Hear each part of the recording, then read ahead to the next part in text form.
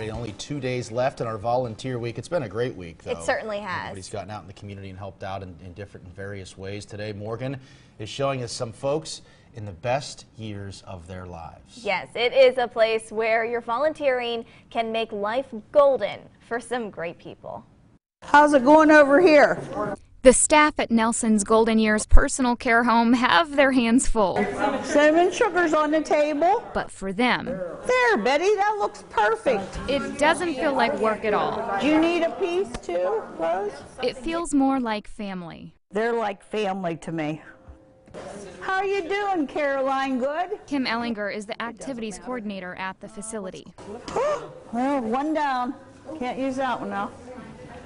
She enjoys keeping the residents busy. This is pretzel dough. It's a pretzel recipe. Today they're making pretzels, and even I got to join in on the fun. I try not to gain any weight, but it's a little hard when we get good food.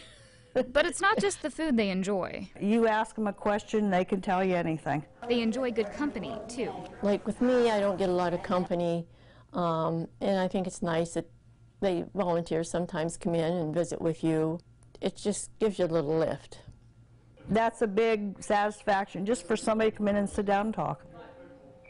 That's all they want. A pretzel and a good conversation. Try it and see how they are. That's a recipe you just can't beat. For Volunteer Week, Morgan Cozier, WTAJ News. That's